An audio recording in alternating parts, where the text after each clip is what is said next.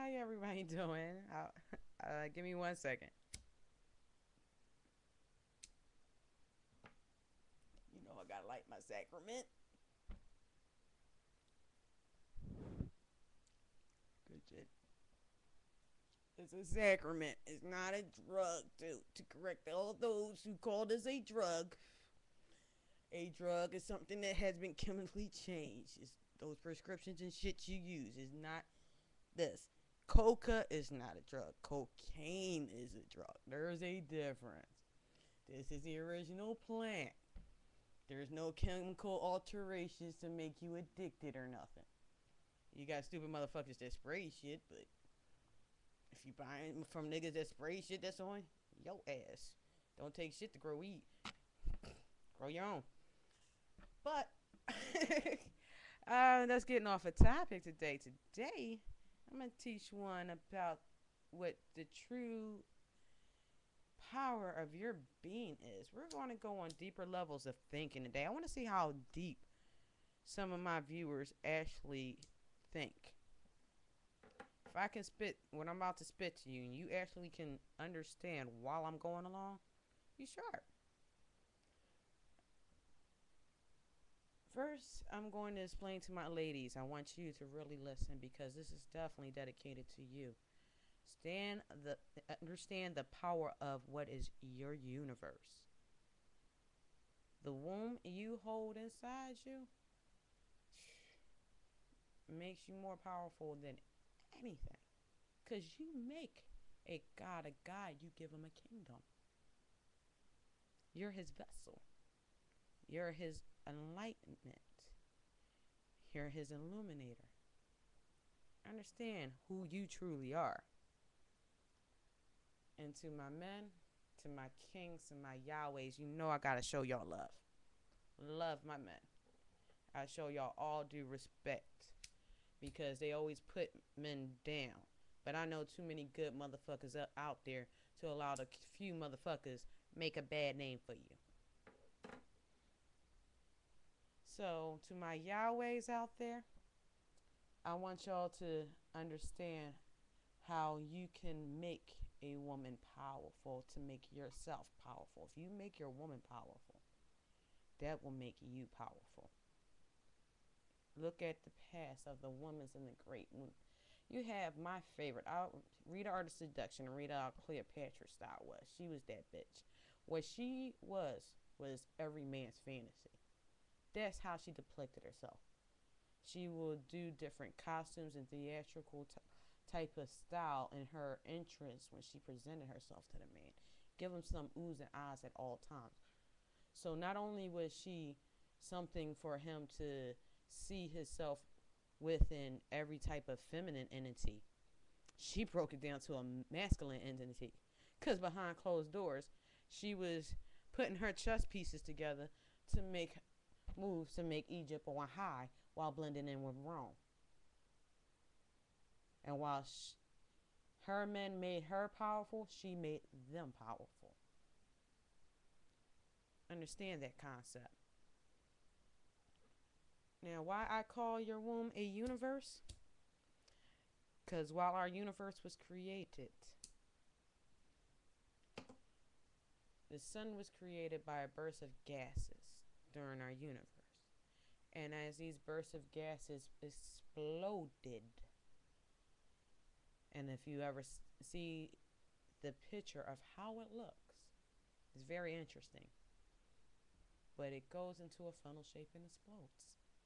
And inside that funnel, you'll see pods of hot balls that are about to be dispersed. And these hot balls are called seeds. Start following me. All right.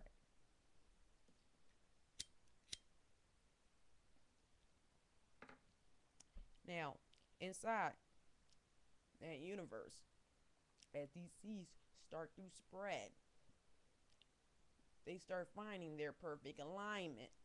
And once they come within their perfect alignment, other matter starts to pull and gravitate towards their alignment. And as it starts to gravitate, the chemical reaction that happens because of that heat source, that seed, that star, that sun starts changing the matter, the elements that are on whatever is now inside its orbit. This begins a process of what we consider mutation. When the earth was formed, the earth was started off with an iron deposit that had bacterial life form on it. The one cell bacterial life form carried the amino acid necessary for the beginning of what is called DNA.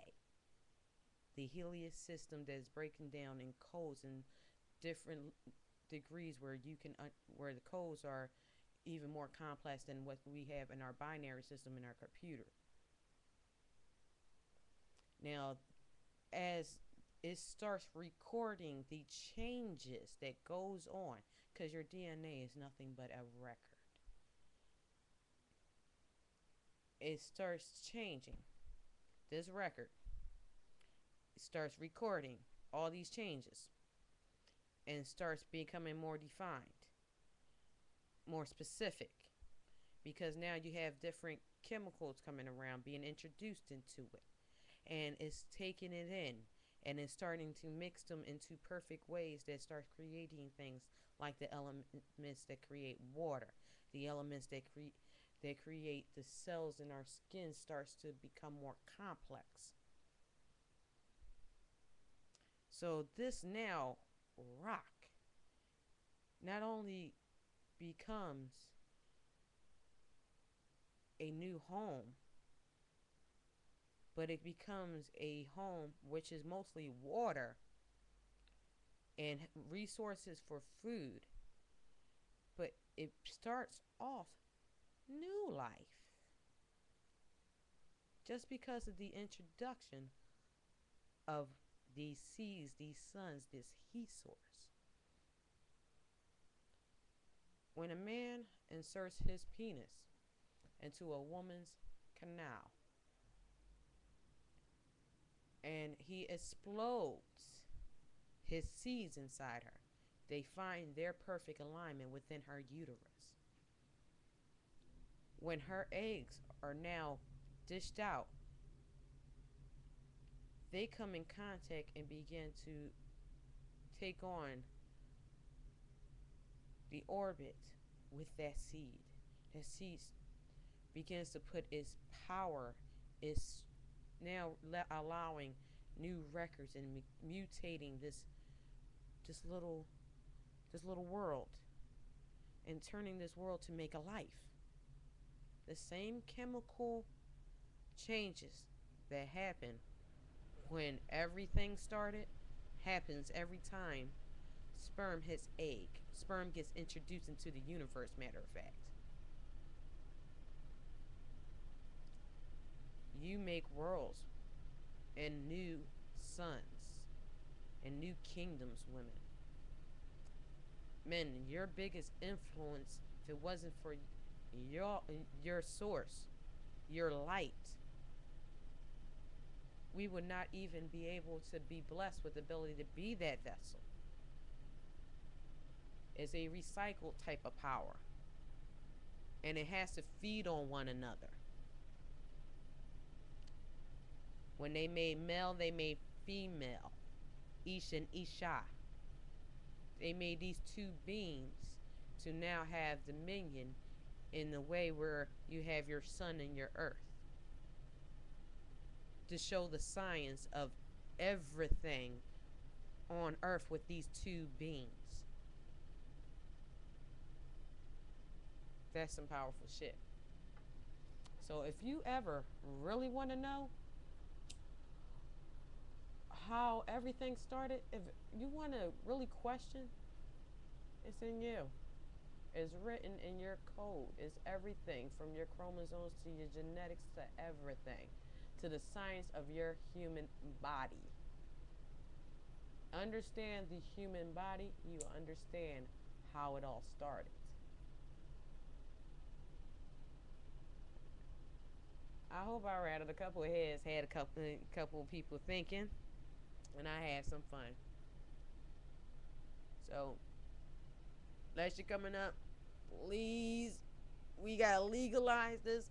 Is a retarded way to waste money that they're not even really spending on the prison systems or whatever that they're claiming, but you're locking up people and doing all this extra stuff over something that I don't know anybody who OD'd off can't OD off weed. Y'all want to put it in two milligrams pills though and dish it that way. Oh, that's going to be legal. that's cute. So when you put it in pill form and start killing your kidney and your liver because they got to filter it out, that's okay. But to have it in its natural form is not all those stupid motherfuckers using salvia, can y'all stop? Y'all don't know what the fuck you're fucking with? That is a sacrament that my people have used for thousands of years, and we're going to have that banned like we had peyote and everything banned because y'all get all high and stupid. Want to get stop getting high on just anything. Stop being retarded. That's called being retarded. Just trying to find something to get high and get away. Nah. Be strong. Try to face your shit. Why I blow weed? Because I can not taking no opiate pills and stuff like that so I can be all high up all day and not feel my pain. I want to know my pain is there so I can know what's wrong with my body. But at least deal with it during the day. This is a sacrament that allows you to deal with your day. And but you still face your day. And if you get that stupid off of weed, yeah, you don't need to smoke. If you get I mean if you don't know what you're doing and what you're doing it for and what you're using, then don't do it. Stop. Please, you're fucking up for everybody else. I can't use my shit because of stupid people. Get that. One.